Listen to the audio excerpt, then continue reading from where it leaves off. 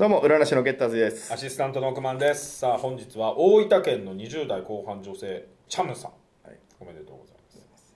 私は今介護のお仕事をしています。介護の仕事を始めて9年目に入りました。うん立派。この仕事に向いているのかそれとも転職をしようか悩んでいます。対人関係で悩んでいるのではなくてえー移動でグループホームに来て自分がこの介護の仕方でいいのかと疑問に思うようになり自分が怒りっぽい対応をしてしまい落胆してます転職をするなら事務のお仕事か歌が大好きなので音楽関係のお仕事をしようかなと頭の中で考えています。どうしたらいいですか？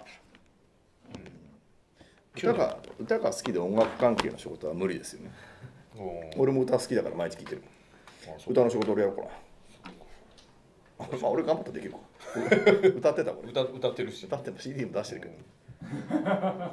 俺歌ってねえよ午前三振午前三振インスパイアセリフ言ってるだけうん業界業界に来るなら早い方がいいですよね。うん。まあ20代でも場所が大分でしょ。大分だって業界ないからとっとと東京来るなら東京来た方がいい。ですね介護の仕事に関しては、まあ、体力すごい使う仕事まあまあえ一応俺福祉の大学なので医療関係とか福祉の人はそういうに関してはまあまあ後輩ないし友達もいろんな方もいるので本当に体力いるし本当に大変な仕事なので、えー若いうちは、えーやっててもいいと思います。けど長くは続かないのやっぱりね。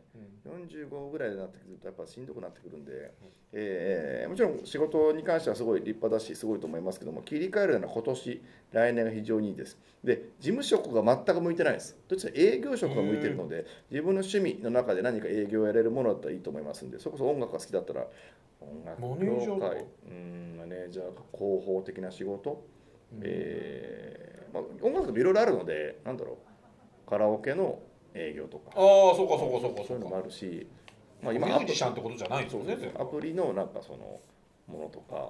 まあまあそのちょっと業界は意外と入るとそんな難しくないのでただ入り口がな。うんなんかルートがないと難しいんですけど一回入っちゃうと入れるので、えーもし興味ある人はもう年内もう一気に東京来るか、えーもう環境ガラッと変えるのいいタイミングですので、えー介護の仕事を割とその根性がありますからいろんな仕事できると思いますので、えー一気に環境を変えるか。まあ大分でもいいんですけどね。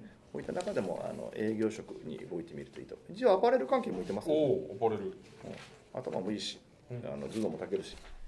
ちょっと色気がないので色気を出してやってみてください、以上ゲッターズでした。億万でした。